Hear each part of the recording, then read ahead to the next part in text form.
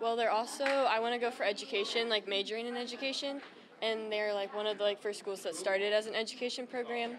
So it's like also good for what I want to major in. Okay. Uh, the level of the program is. It, you know It's D two. it than I do. It's D two. Okay, but, but what I'm saying is, is it highly regarded at that level? Yeah. And uh, was that something that had something to do with, hey, I want to go to a place that where Yep. the sport is big? Yep. And talk about that a little bit. Um, acro tumbling's like a new sport, so being able to like go into it and try something new is something that's like exciting and a new like thing that I'm excited to experience. All right. For once, you're not going to be coached by that person you live with. Yep. What's that going to be? Um, different, very different, but I'm going to have to adjust. In a good or bad way. I mean, Yeah. I know you're going to miss her in, in Yep. both in both aspects, Uh-huh. but uh, have the coaches there sort of indicated uh, they're going to take care of you pretty much the and beyond the same way? yep.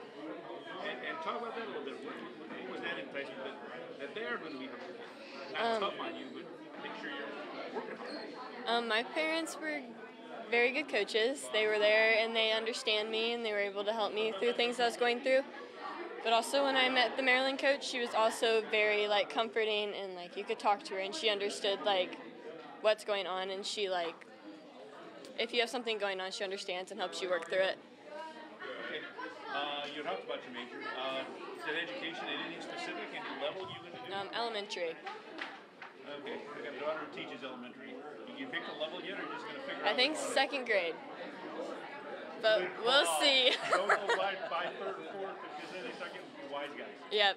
Okay, um, and as you look at the past few years, um, outside of the fact mom's the coach, what are you going to remember the most? Um, all like the friends and like community that I've had that's supported me through my whole gymnastics career, and like doing it 14 years, you make a lot of new friends. So like all of the friends that I've had that have like impacted my life too.